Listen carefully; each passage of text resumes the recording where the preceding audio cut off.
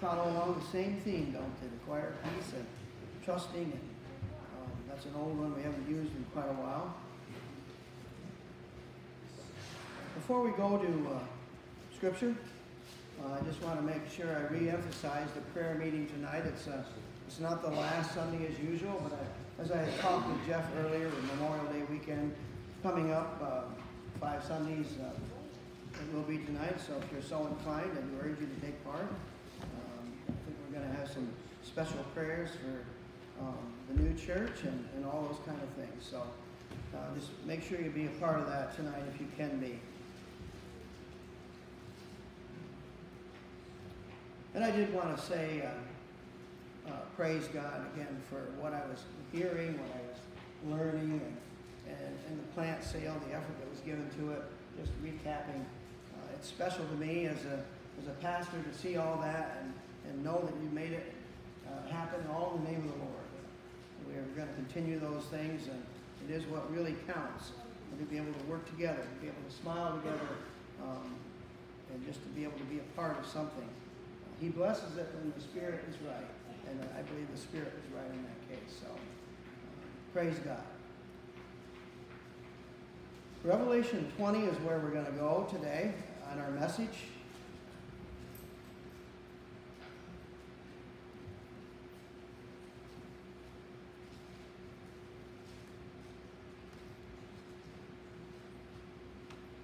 You might smile a little bit this morning. Um, if, if you hear my my voice is slightly a little different when I was eating my breakfast this morning, a chunk of tooth. I, I mean, your your mouth thinks it's like a like a piece this big, but, but it isn't. It's just the tongue is a very poor uh, uh, teacher indicator of what's going on. But one of my front teeth had an old filling that was in that had been chipped years ago, and it popped out. So if you hear a little woodchuck whistle once in a while, something's not just right. Um, uh, just that's what it really is. It's not that uh, I'm trying to be, uh, not trying to fool with you or anything like that. So, Revelation 20. Now it's not maybe the usual place where we might go on on any given Sunday, but uh, there's a lot to these things. There's a lot of study in Revelation.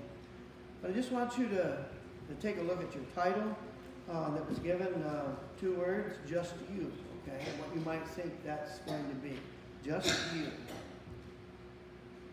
Revelation 20. Uh, and we'll, we'll have to break this down a little bit later, but then I saw an angel coming down from heaven, having the key to the bottomless pit and a great chain in his hand. And he laid hold of the dragon, the serpent of old, who is the devil and Satan, bound him for a thousand years. And he cast him into the bottomless pit and shut him up and set a seal on him, so that he should deceive the nations no more until a thousand years were finished. After these things, he must be released for a little while.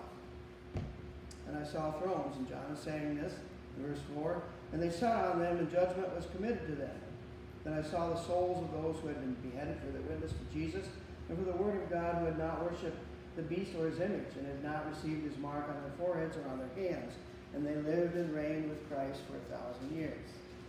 But the rest of the dead did not live again until the thousand years were finished, and this is the first resurrection. I'm just going to halt there a little bit and. Uh, there are a lot of things in Revelations. There, there, there are timelines, which we certainly wouldn't go into today, but just to get the idea, um, Satan gets thrown into a pit by the Almighty God for a thousand years. And you ask me, why is that?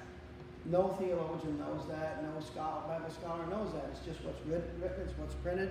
And after the thousand years, he is, the millennium they call it, he will be released, and then he'll be immediately snuffed out. And um, this is what. Uh, what we're going to pick up on here as we go here. And six, blessed and holy is he who has part in the first resurrection. Over such the second death has no power. But they shall be priests of God and of Christ, and will reign with him a thousand years. And when the thousand years have expired, Satan will be released from his prison. I want you to imagine um, the world around you right now, with everything perfect, with Jesus sitting on a throne, no trouble, no sin, everything's just perfect. All things have been renewed. All the old things that we experience and know that fail, that aren't right, from the, the diseases that kill our trees to whatever else comes along, um, it's gone. Okay? Satan is gone. For now.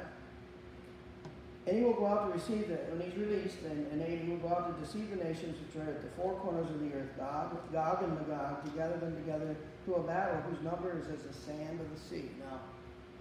Now, I don't, I don't spend too much time at the ocean, but uh, what I have, and I've looked at, you know, there's a lot of grains of sand. That's all I know. So there's going to be a lot of people at this battle at the, at the very end. Nine, and they went up on the breadth of the earth and surrounded the camp of the saints and the beloved city. and fire came down from God out of heaven and devoured them. Ten. The devil who had deceived them was cast into the lake of fire and brimstone, where the beast and the false prophet are. they will be tormented day and night forever and ever. That's a long time. Verse 11. And I saw a great white throne, and him who sat on it, from whose face the earth and the heaven fled away. And the great judge sits on his throne. Such an intense thing that heaven and earth flee away from. And there was found no place for them. It's a unique place that people have speculated through the years, but when the judgment seat takes place and the people stand before it, um, and I saw the dead, small and great, standing before God, and the books were opened, and another book was opened, which is the book of life. You've heard me talk about the book of life before. And the dead were judged according to their works by the things which were written in the books. The sea gave up the dead who were in it, death and hell delivered up the dead who were in them, and they were judged each one according to his works. Then death and hell were cast into the lake of fire. Now, I want you to consider that little. There's so many things in here, but just think of it for a minute. We talk about if you die you don't have Christ, you go to hell, or Satan is, or all the demons are. But in this situation here, we're, we're upping it. We're upscaling it big time. Death and hell are cast into this lake of fire. Okay? A second death. And anyone, uh, I can make a sermon out of this verse right here, but and anyone not found written in the book of life was cast into the lake of fire. Okay? Pretty straightforward stuff, and, and uh, so there's that woodchuck whistle again. I know I get you to smile. I'm not going to smile too much because it. So we bow our heads for a word of prayer. Dear Heavenly Father, we do praise you for your precious word which you have given to us as you print it and have kept it all these years so that we can look at it even in our time. We do praise your holy name. And we pray that your word would go out and bless each and every one who receives it today. And as you said, it won't return void. We do praise you for it. In Christ's name we pray. Amen. Just a, just a brief uh, pause here, which, you know, not to interrupt the flow of the message at all, but this year marks the 200th anniversary of the old church down in Burlington, 1822 to 2022. And I have an idea for some of you for something that we can do, but um, we need to up it, and we'll talk about that sometime. But no matter what happened in that time and the troubles they've had since, it's still the same God. He still reigns, and he's still on his throne. Yesterday, instead of being at the plant sale, I was planting myself, as they say, with a corn plant. And I want you to think about it for a minute. the guy that plants the corn, I took over from my dad, and my dad took over from grandpa, and uh, I don't know how I got the job. I suggested when Papa didn't want to plant anymore, we got a different planter. He said, uh, and I said, well, Zach, here you go. And he said, no, no, no. I got the corn planting job. He has to drill the, the grain in the small, seeds the grass and everything. So, whatever happens when you're on that planter, okay? The first year we had a planter in between the one we have now. Now we have a, John Deere, but it was all new to us. and uh, it had this monitor thing, you know, and we mounted it on the tractor and got crude thing. That's, it goes back into the, the 80s, you know, it just wires and flashing lights, you know, that's, that's all it was. And a little probe down in each uh, drop uh, tube. the guy told me, he says, these things are very, very unreliable. There, he says, but you can look at it and, and use your own judgment. Know, Dad was still playing at that time. Zach was up helping him, and uh, I was milking the cows at that time. And uh, one light kept flashing, and uh, they came down to see me. And while I was in the barn, I said, "Well, you remember what the guy said? I wouldn't trust it." So they kept planting, and uh, of course the old way is you always get off in the uh, maybe halfway when the field's half done, or maybe when the field is all done. Definitely when the field is all done before you start the, the day. You, you, some of the old planters you can spin the wheel, or you can uh, on the newer one I've got a wrench that I turn part of the shaft and, see if they're dropping on, on open ground to make sure you're still planting.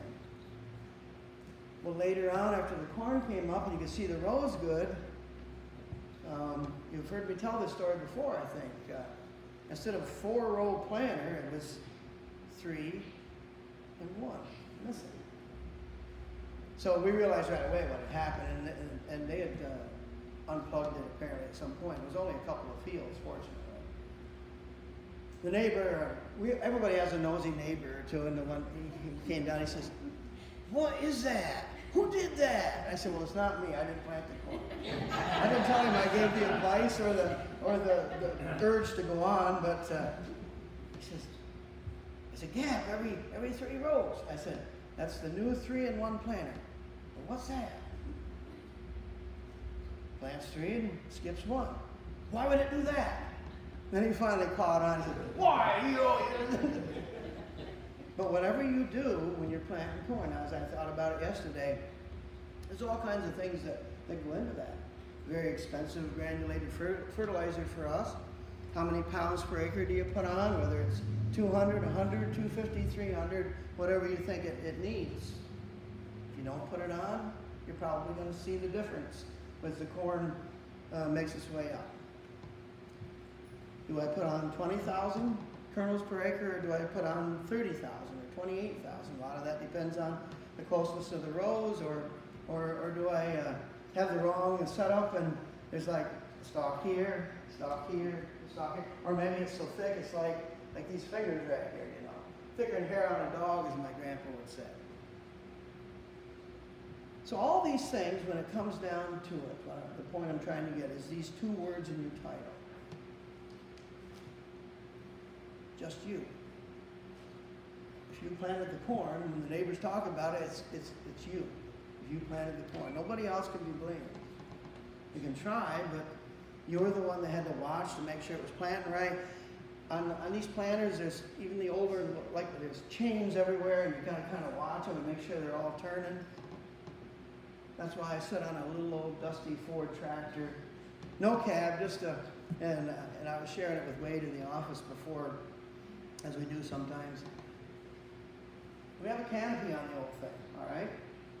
And he smiled when I told him. And uh, after I bought the place where we live now, in 1982, down on the edge of the wood, woods was an old Edsel car, the motor and transmission and all. You've heard of Ford Edsels in the late 50s. They were they didn't pan out. They any but everything was there, the seats, uh, the doors, uh, the hood was there, and I took, told my dad, I said, boy, that'd be nice to have a canopy on that tractor. How about we rob the hood off the old Edsel? And he looked at me and, jeepers, go ahead. So we, we took it off and we fastened it on. It has, a, has a, the safety roll bar on it, which, which is, you know, um, is safe. So we bolted that hood on, and boy, we got all kinds of conversation, all kinds of talk. One guy stopped by and he says, "No, you look just like Barney Rubble when he's out there. And, if you look at it, it's got a few loose ends on the front now that fluttered because of the trees and the limbs when you go around. Now Zach hits it when he gets on the tractor, so he has to be careful. Another guy said, well, that just looks like a Batmobile. But that's the tractor I use, open station, out in the, the wind was blowing yesterday, especially when the wind was behind you, corn plant goes through the dry ground. I mean, I had to literally wash my eyelids out last night and spit some stuff, and yeah, I ate lots of dust. But my grandpa used to say, I'd eat a peck of dirt before you die, so uh, I don't know what that meant, but he also said, plant your corn into the dust, and it will bring your bins to bust.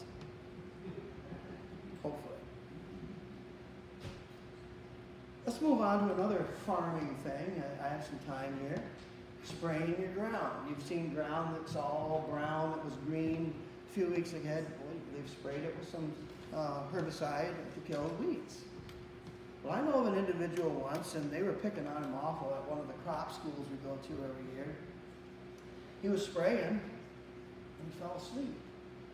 And the tractor went this way, and that way, and went around and around. Oh, they gave him an awful time. Nice alfalfa too. It was all just. it was it was it was interesting. But again, when you spray, and you know, if you go to any of the schools, you learn right away. You're responsible for what's going into that, where it's dumped. You know, any issues that would arise from a leak where it shouldn't have been, the whole thing. Or why do you have knee-high weeds? Didn't you spray that? Well, I did, you know, but it just didn't pan out this year. It's on you. It's just you.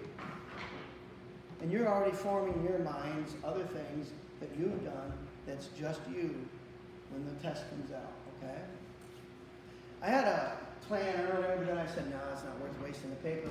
But I was going to do like the school teacher used to do. I don't know if they do that anymore or not. But they would pass out pieces of paper with, with a test on it, each and every one of you. And they would always say, now don't look on your neighbor's paper. It's just you. We all know that didn't always happen, but just to make a point here today, it's just you. One last little thing here, okay, when it comes to the, the farming part okay? I think most everybody here has handled a square bale of hay at some time or another. Probably some more than they want to remember. it's always at the hottest time of the year, and I, I've thrown plenty of them, you know, before we went to round bales and baleage, 20,000 a year and more at our peak, hot up in that old place. Grandpa always used to say, go up there and get up a good sweat good for you and get the poison out of you, the accumulated last winter, he'd say. So uh, all those things that, uh, I don't know, but they're, they're memories.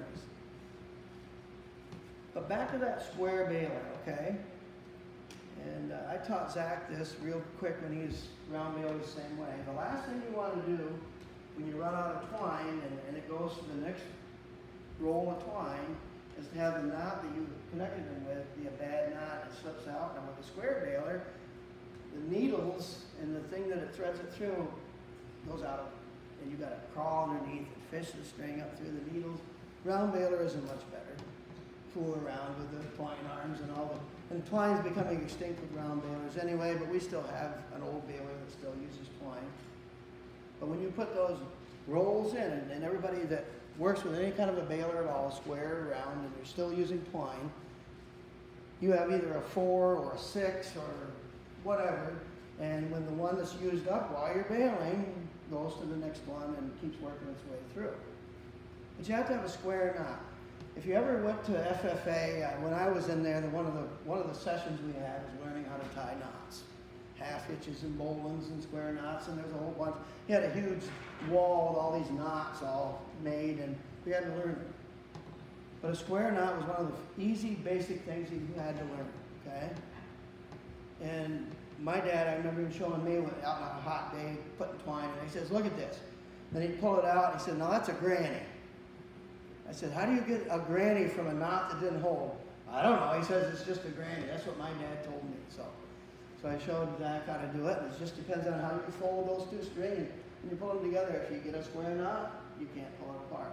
If you don't, you know, granny, you're going to pay for it when you're when you're baling. All of a sudden, especially that old round baler, twine goes, it's gone. Oh man, it's all on you. You made the knot, nobody else. I made the knot. I made the donuts. I don't know why I thought of that, but it's that old commercial for Dunkin' Donuts. Zach and I will do that once in a while about milking and chores. It's time to milk. Well, I just I just milked. It's time to milk, you know. And the little guy with the little goatee used to say, time to make the donuts. Well, I just made them. It's time to make them again. But it's all on you. Back to the, the biblical aspect of this, okay? As I said, in, in the study of Revelation, there's, there's plenty. And you sure, sure can't cover anything in depth in a morning service. but what we do is we bring out certain points in certain parts. And where we're at there in, in the, the very end of Revelation is those who know Christ have already been taken up. Already with him, okay? This part that we read today is about the judgment seat of Christ. After that's done, is the great white throne judgment, okay? I'm going to pause here a little bit.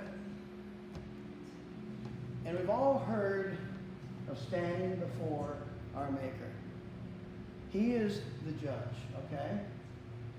We've all heard of that. And I want you to know, because it's just, today it just seems like in the press, wherever it is, whatever happens, it was the other guy's fault. Or I'm going to get out of this with this one, this one, this one's going to help me. We're going to move some stuff around. When you stand before the Almighty God, okay? He knows you by name. It's just you. Okay? If you ever watch any of those courtroom shows, uh, I, I go all the way back. I remember Perry Mason when I was a kid. Everybody younger says, "What's that?" Uh, well, just check around some of those old channels. You'll find it. But all the way up to you know the stuff that they have today, complex stuff. They're very interesting at times. But you always have a judge. You always have a jury. And you have lawyers on both sides. And if things don't go your way, uh, you can say, well, I'm going to appeal. We're going to try this again. When you stand before the Almighty God, He is the perfect judge. There's no need of a jury. The days of a lawyer are gone. And it's just you and Him face to face. Okay? Well, that can be good if you already know the Lord and your name is written in the Lamb's Book of Life, which is spoken of here. He opens the book, the angel does, it says, and goes down the ledger and sees if your name is there. Have you ever been somewhere waiting in line or waiting for something and hoping your name was on the list of reservations or whatever, and somebody said, Well, I don't see your name here anywhere uh, you can't get on this train, or you can't go on this flight, or you can't go into the hotel, whatever. Somebody a while back was telling me about whole bunches of people that didn't get their reservations because somebody messed it up. And they were stirring them all over the city.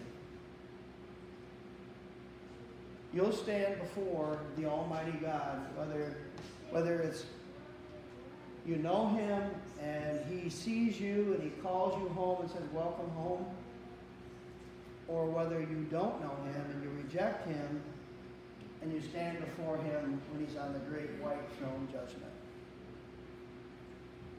As I said in earlier messages, God never intended that any of his children ever go to hell or, worse yet, the lake of fire.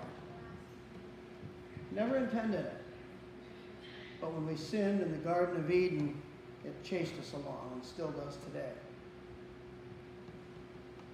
If you know him as your personal Savior, you're okay. But if you don't, it's just as easy as black and white. It truly is.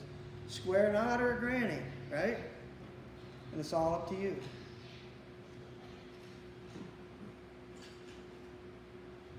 Three rows or four. It's all up to you. Just you. And you can't look around and at, at Judgment Day and God's on his throne and you're standing there and saying, well, it was, it was it's just you and him. He's the perfect judge. He knows everything. There's no gray areas. There's no way you can pull something out of the hat. No getting a lawyer to do some angles or some plea bargains or anything like that. It's just you and the Almighty, the great God of heaven. So I want you to think about that just a little bit. Because many times, and, and I think our society, the way it is today, promotes that. I can do this or I can do that. I can fudge my way through most anywhere. Get the right connections, pay the right cash, see the right people. In this case, you have to recognize that we are all sinners. All of us. God knows you by name. He knows the very hairs on your head. And, and uh, older guys like me, when they're in the pulpit, will sometimes make the joke he doesn't have to work as hard as he used to. He knows you by name. And he calls you to be with him. Back to the old picture. Behold, I stand at the door and knock. There's no handle on the outside, but you, if you let him in, he'll come in. He calls continuously to all his children, whoever they are. Reject him, there awaits a lake of fire. Accept him, there awaits a heavenly home that you can fellowship with your family members who have gone on before, people who will be there that you can't even imagine, all the biblical characters in a heavenly place that we can't, eye has not seen, nor ear heard that which God has prepared for those Him. Now, I like the outside. I like the beauty of nature and all that God has created, and it's beautiful stuff. But God says that's that's nothing. He says this is this is tainted. This is marred by sin. I can't imagine. Jesus said, I go to prepare a mansion for you. Just for you. I can see it if he said, Well, I prepare a mansion for 500 of you or something. You can't imagine what that would be. For you, I prepare a mansion. All of us immediately in our mind have an idea of what a mansion would be that we. I've seen some.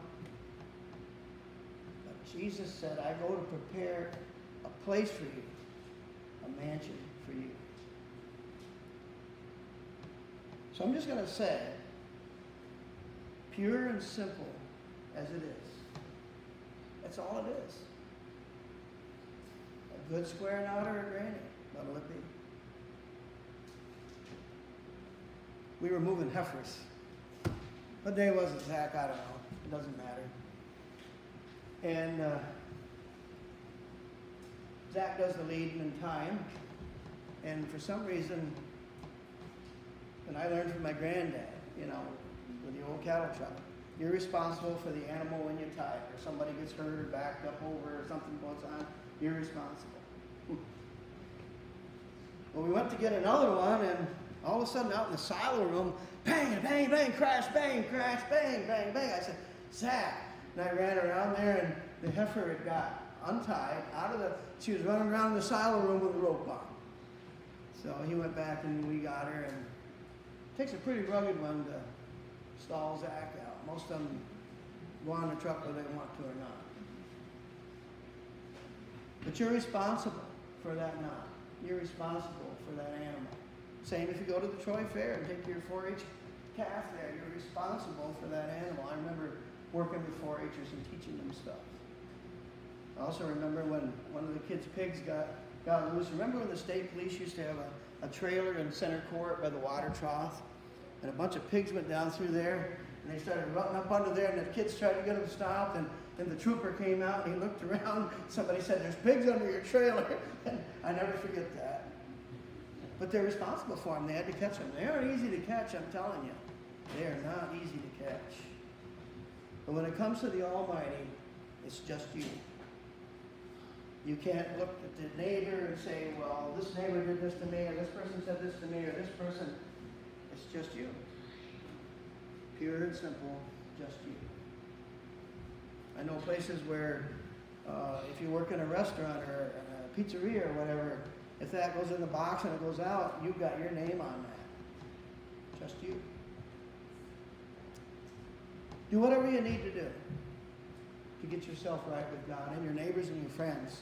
And it's not all that, it, you don't have to turn yourself into a, a Bible thumping, whatever maniac. Just consider what it is that you need to do to have yourself an eternal home when you leave this life. Do whatever you need to do to open the channel. One last quick thing our old red truck, the radio's been doing funny things for a long time. So today, while I was waiting for the heifers at the ranch to come up to the corral, I had an old screwdriver, so I popped the cover off on the radio. And radios are different today. I mean, this is an, an 03, but it isn't like the old ones that I used to take the knobs off, unscrew, and the whole thing would come out and be two wires to unplug. It's just a circuit board on, on the front of a, a metal frame. So I pulled it off and I rubbed everything down and just kind of waiting and it would come and it would go and it got to the point where it was gone more than it was coming and, and uh, so I put her back in there lined up and there's four pegs and, there's a little uh, uh, thing with a wires plug and I popped her in there and I took the screwdriver and boom, boom, boom across the bottom. And you know what? The radio lit up and it went. And it's still working last I knew. Do whatever you need to renew your connection with your Almighty Father. Shall we bow our heads for a of prayer? Heavenly Father, we do praise you for being able to be here in your house. We know that you speak, that you are alive, and you know each and every one of us. We pray that you would help us to know who you are and what you are. All we simply need to do is recognize that you are our Savior and ask you into our heart. And ask to have your name, my name, written in that Lamb's Book of Life. We do pray that you would bless your word as it goes out this day. In Jesus' name we pray. Amen. And uh, back to the hymnals again. 552. And I think you were remind.